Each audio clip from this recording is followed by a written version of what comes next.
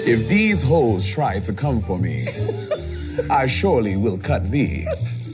I will not hesitate to put thou in a ditch because Maya Angelou ain't no punk bitch.